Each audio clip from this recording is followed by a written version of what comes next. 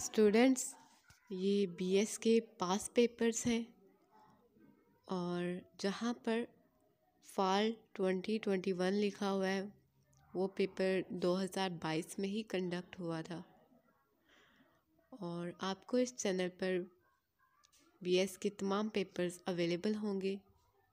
अगर आप इस चैनल पर नए हैं तो चैनल को सब्सक्राइब कर दें और साथ ही बेल आइकॉन प्रेस कर दें। ताकि हर न्यू अपडेट आप तक पहुँच जाए।